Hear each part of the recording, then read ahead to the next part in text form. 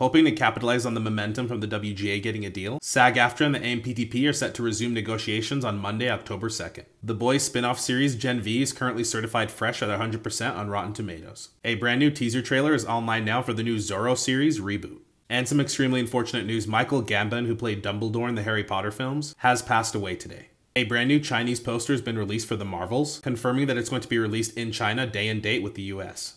Responding to someone on threads, James Gunn clarified that three characters from the previous DCEU will continue their roles in his new rebooted DCU. Viola Davis as Amanda Waller, John Cena as Peacemaker, and Xolo Maridueña as Blue Beetle will all continue in the new rebooted DCU. James also clarified that Freddie Stroma will continue as Vigilante in the new rebooted DCU. A brand new teaser has been released for Hazbin Hotel, an animated series from A24 and Bento Box that Amazon has picked up. Amazon has also given a two season order for the series.